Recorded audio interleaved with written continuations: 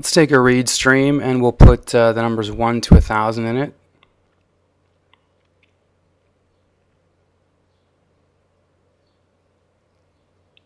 So we print that, we can see we've got the numbers 1 to 1000.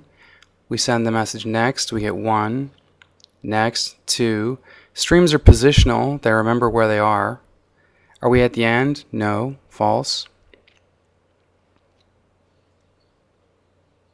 So we're going to use a write stream. We're going to put a, um, we're going to write onto a string of five characters. We print that. We can see we've got a write stream, and between those single quotes there, there's nothing. It's empty. We're going to write to it. Put an A, put a B. Now the contents of that stream are AB, a string.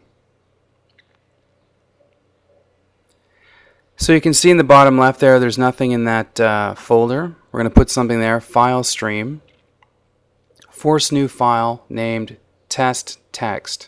And we're going to put the this text is written in a file string in it. So we do that. We go back to the folder. We can see we've created that file. We can double click on it. We can see the contents of that file, which we've written to.